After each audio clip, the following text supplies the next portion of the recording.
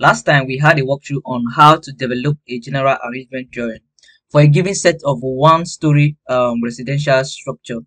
So this was the general arrangement for the ground floor. So today we are going to be looking at how we can develop uh, GA for the first floor. So in case you are just joining us, I'll leave a link in the descriptions to where you can access um, the tutorial on how to develop this ground floor. And also I'll leave a link to where you can download this same architectural drawing so you can as well practice with the same drawing. So let's kickstart the tutorial 2 for this series. If you were with us the last time, um, you will know that firstly I like to study my architectural drawing and studying the architectural drawing the last time, we came to an understanding that um, there is an increment in size when we move from this ground floor to the first floor. There's an increment of 600 both on the right and the left hand side. So that is going to be reflected on this first floor GA.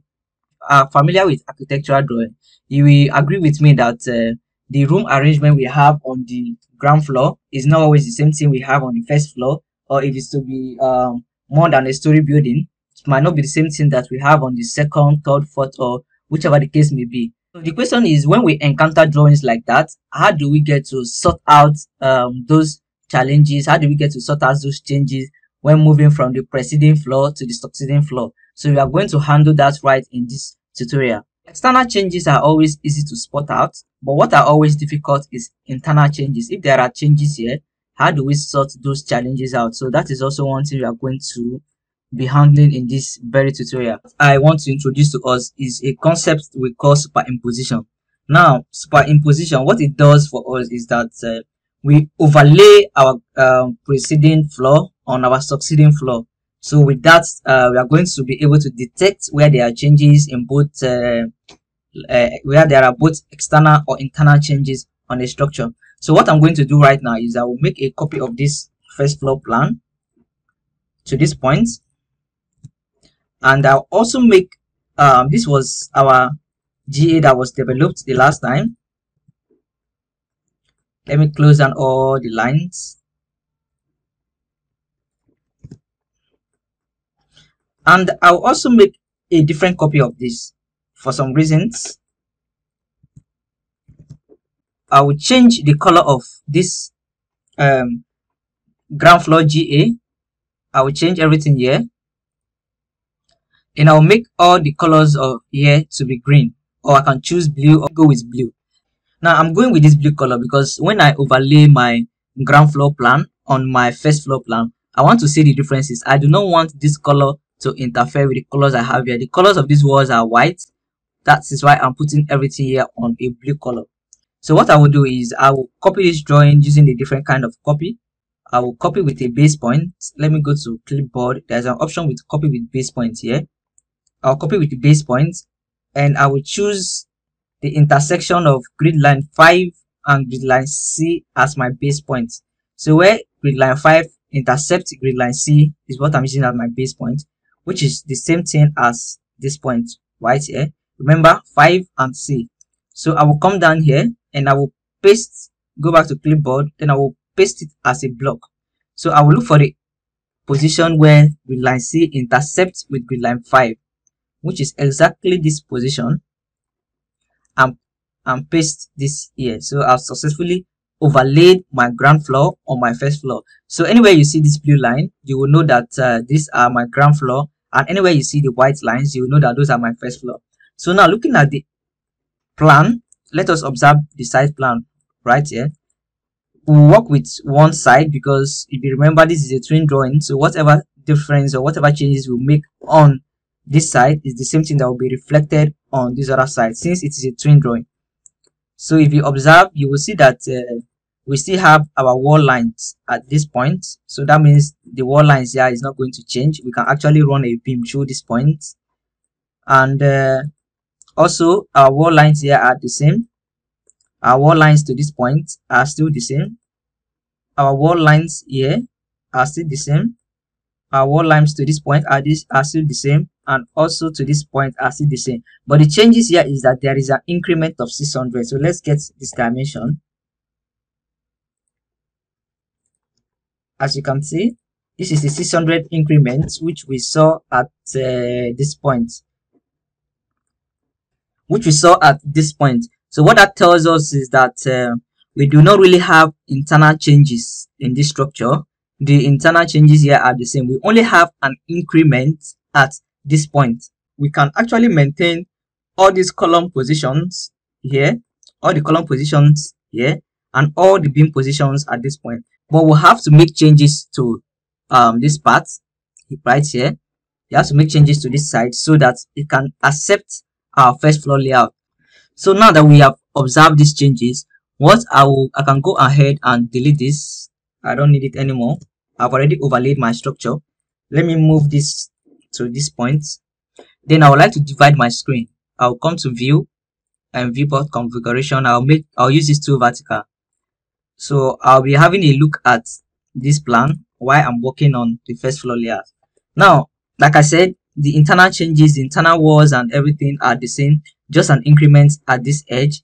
So instead of me to start afresh positioning uh, my columns on this drawing and uh, my columns and beams on this drawing what i will do is i will make a copy of this since they are the same except for the increment to this point and I will now reflect whatever changes was added here on this drawing. So from the out to out of this wall is 600. So what I will do is I will copy this including the grid line in between. So I will copy this tree right here to a distance of 600 to the left. So these are our now our newly introduced external walls, or these are our external walls that was introduced on the first floor, right? So for me to have this, I will extend, let me extend these lines.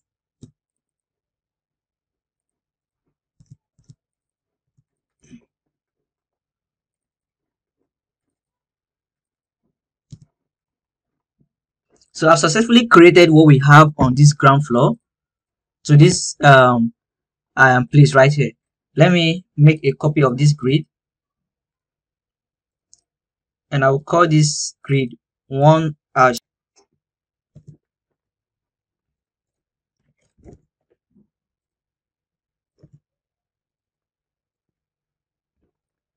So at the end of this video also, I'm going to tell us what we use um, the ground floor plan for, what we use the first floor plan for, and what we use the roof floor plan for because we are also going to uh, create a general arrangement for the roof the roof floor. That's for the roof beams actually. So moving from the ground floor to the first floor these columns are going to terminate at this point. That means this is not going to continue from the first floor right? The columns will terminate under our ground floor at this point right here. So these are the columns that are supporting from the ground floor so when they get to this point, they are going to terminate. That means we are going to create another column at this edge for able to carry this our first floor structure. So I will go back to my AutoCAD and I will create a copy of this to this point. So these are now our newly introduced column and I will delete this. I'll delete the hatch in this and I will take this column from the column layer. Let me take it to layer 0 and I'll give it a blue color. I'll also make the thickness to be 300. So why I'm doing this is that this is actually telling us that this is our columns that will be tabulated on getting to the first floor. So I will create the same thing here.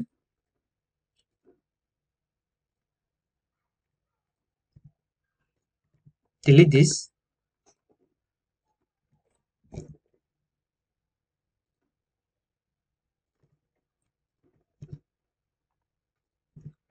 And I will match their properties from this to this to this and finally let's come to an understanding first of all that whatsoever we create on our general arrangement is what the builder on site is going to replicate. So if we leave these wall lines here we're actually telling the builder to create a beam at this point. I do not need a beam at this point. I just want my slab here I only need this beam to cantilever from this point to accept this column that is coming here, which is what we did here. Which is what we did here. I do not need a beam covering this edge. I want my slab free flowing like this. So what I'm going to do is I need only this beam coming from this one right here. Let me put this side by side.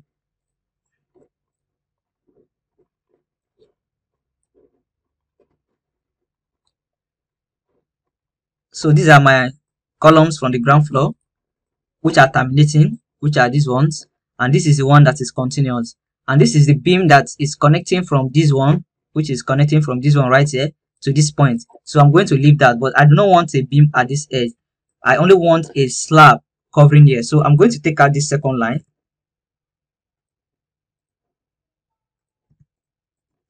So you can see that there is no beam here. It's only a slab at this point. So I will do that for here as well. So I'm just going to delete this line. So I will have my beam coming here, my beam coming to this point, and my beam coming to this point to receive my columns. And this, like I said earlier, this other ones, uh, this internal beams is already created. So that is how to create our ground floor, our first floor plan, right? These are our newly introduced beam to carry this. Now, do not mind the size of this. Uh, this is actually a 150 wall, but we are going to use a 150 beam, right, on site for construction. So what I will do is I will just move this up to here so that they can understand that this is actually a 225 beam. And I think that is uh, actually okay. so what I will do is I will mirror whatsoever I have here that I've created at this point.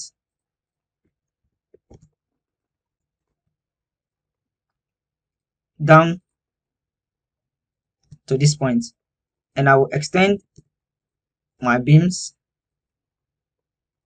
to cover up. Then I will delete my hatch here so that the does not recognize it as a column rather it will recognize it as a, a terminating column. So I'm going to match these properties of this to this and to this to this as well. Then I'll move my wall lines up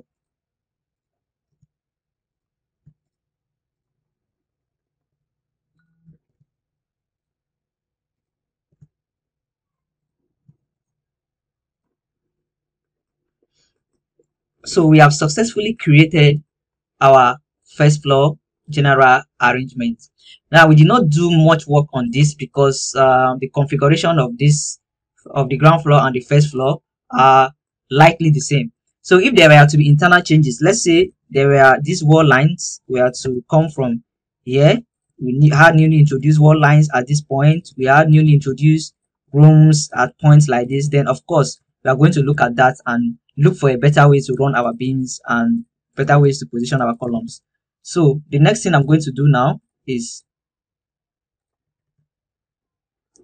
next thing I'm going to do right now is to create a general arrangement for the roof. So to create a general arrangement for the roof, I'm going to copy this.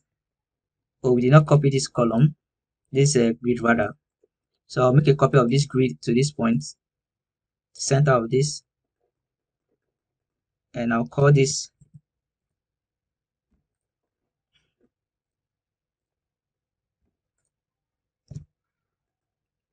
so next in line is our roof. So this is now our first floor GA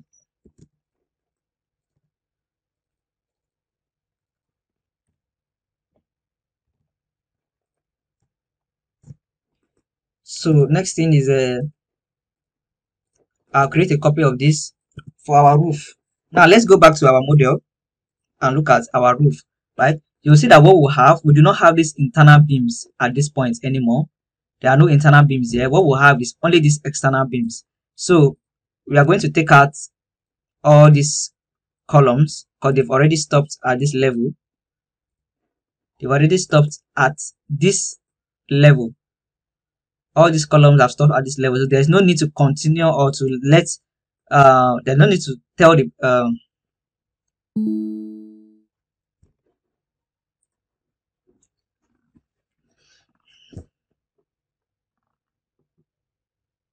so there's no need for us to indicate that there is a terminating column at this point.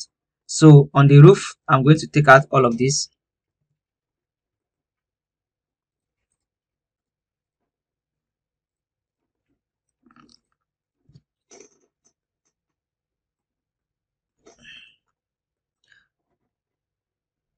And I'm also going to take out these beams right here the beams right here because they are not um, going to show here rather they are going to show at this edge.